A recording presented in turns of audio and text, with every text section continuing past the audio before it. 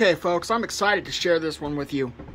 This is my new Superboy.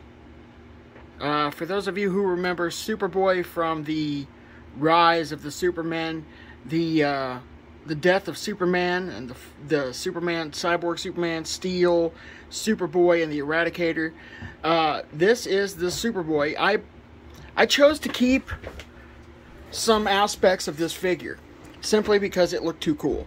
Uh, this was was made from a Harry Potter, uh, a Todd McFarlane's Harry Potter figure.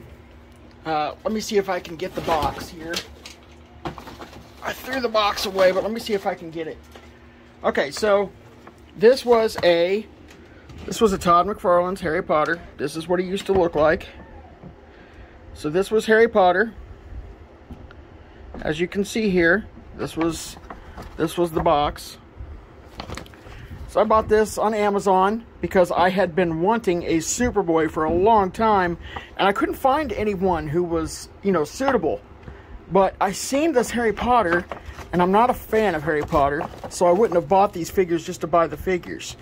But uh, I seen this Harry Potter and I was like, oh, oh, those are really well designed specs. So I, I like the, the specs that he used, plus they look like Superboy specs.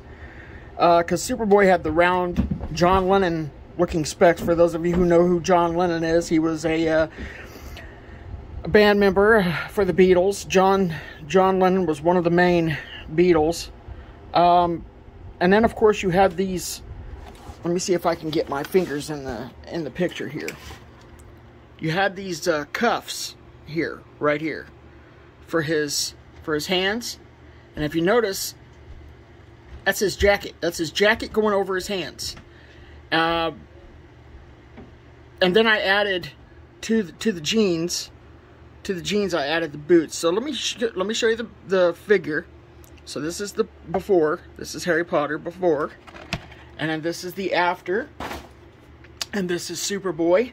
So as you notice, I gave him some boots. I gave him his boots and his buckles around his boots. And it's trying to focus on my other freaky figure over there. Uh, but I kept his jeans because I liked the idea of Superboy wearing jeans. I didn't much care for the spandex. It, I mean, it's cool, and I could have painted these red, I guess, but it would have looked tacky. So I chose not to.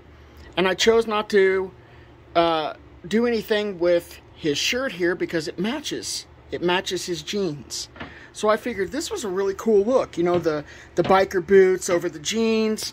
You got the buckles on the biker boots. Uh, and of course, he's wearing that leather jacket. But as you can see, Harry Potter, it wasn't leather. It was like a, I don't know. It almost looked like a corduroy. But this, I turned it into leather. I, I gave it some silver on the zipper. So I painted the zipper. Um, I added the Superman symbol. I'm not 100% pleased with the symbol itself. As in the last time when I did a Superman symbol, I wasn't 100% pleased with it. So I redid it. I don't know if I'm going to do that. But, uh, man, I'm, I'm loving this. I am absolutely loving this. Because you can see here, let me see, right here, you can see where his jacket cuffed off here. And his fingers just kind of sticking out a little bit. But it worked perfect because Superboy had those gloves that looked like that. He had gloves that looked like that. So it's, it's almost like Todd McFarlane said, oh, you know, for those of you guys who, who like to modify figures, here's Harry Potter that can be easily turned into a Superboy. I know that's not what he was thinking when he made this figure, but oh my gosh, you couldn't ask for a figure more easily crafted into Superboy than this one. I mean, who would have thought Harry Potter could be molded into Superboy? And of course, I heated it up with a heat gun. I heated the head up and I cut his hair right here to match Superboy's mid-cut. And then I cut the back, as you can see, and I gave, instead of the, the typical yellow symbol, Superman symbol that I gave, or that he had on his Superboy uh, jacket, I gave him this graffiti style Superman symbol because I thought, you know, with the leather jacket and the biker boots and the jeans, I thought this would look really cool. And it did. It looks really cool.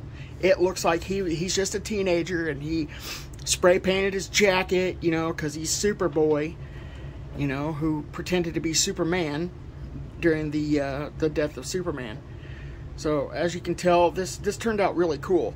Uh, he did have these little cuffs in his arms, uh, part of the jacket. Let me see if I can get those.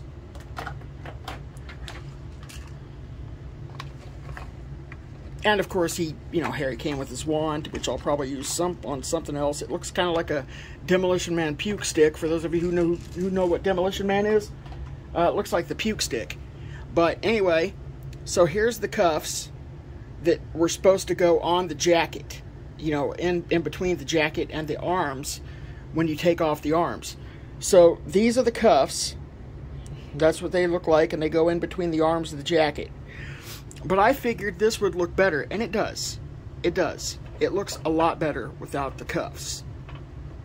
So it just, it looks really sweet. I'm very pleased with it. Um, of course, I painted his shirt here, blue, and I painted the line on his shirt, right there, blue. And then I painted his glasses to match that of Superboy's.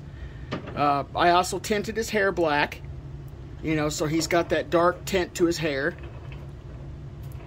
And I just think he looks really just, just kick butt.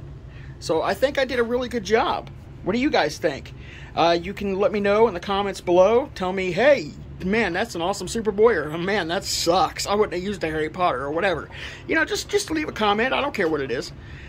It helps with the algorithms. Uh, and don't forget to like and subscribe, of course and hit that notification bell to see all my videos in the future and to maybe see if I'm gonna do something with this symbol. So until next time, and we're still waiting.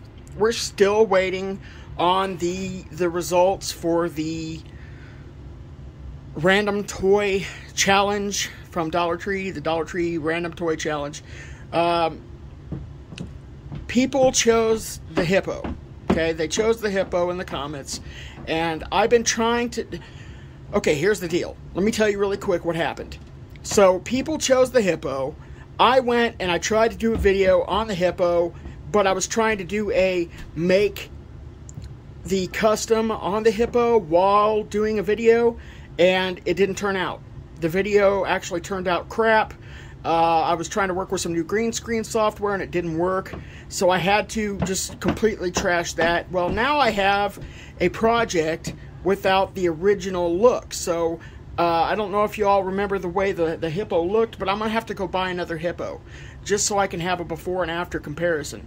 So just give me a while before that, you know, so I can go get another hippo from Dollar Tree. Uh, it has to be the same one because otherwise it's not a it's not a proper comparison. So I'm gonna go get another hippo from Dollar Tree uh, sometime, and here lately they've been out of them. So I'm waiting for a new shipment, as most people in the world are waiting for shipments, waiting for a new shipment of hippos, so I can go get another hippo and do a before and after comparison on this uh, this new project, this uh, Dollar Tree Random Toy Challenge project. Uh, but until it's done, you guys are more than welcome to watch some of my other videos. And uh, thank you guys for watching so much. You know, you, you're really helping out our channel. So thank you for watching. And until next time, I'm Dr. Sketch. Keep sketching, y'all keep sketching.